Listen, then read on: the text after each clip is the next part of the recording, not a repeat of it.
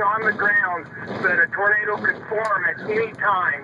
So uh, I, I would urge people, this is again south of Minneapolis, west of Bennington, probably more west of the Bennington area, um, closer probably to the uh, Highway um, uh, 18 area right now as I'm looking southwest to it. But just rapid, rapid rotation right now. Nothing on the ground. I haven't seen anything on the ground for the last like five minutes, but before that, uh, I had uh, rope tornado touch down maybe a couple of times briefly, but this has gotten a lot larger, a lot broader rotation now, and uh, I've still got a very good vantage point and a very good view of it. And, and it's true what she was saying about the storm. It's not moving very fast, so that's probably a good thing.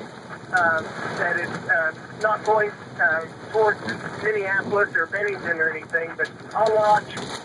Again, very, very rapid, strong rotation at this time. All right, and, and Henry, which direction does it does it appear to be moving? Well, it, it, it, it oscillates back and forth. It kind of, okay, I've got a funnel cloud coming down, uh, large funnel showing at this time, but uh, it is it is started rotating, okay, I'm going to call tornado on the ground. Tornado, today, tornado is on the ground, large tornado now. Whoa!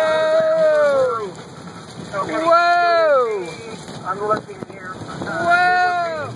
West of 135. Uh, I'm not sure, probably close to the Highway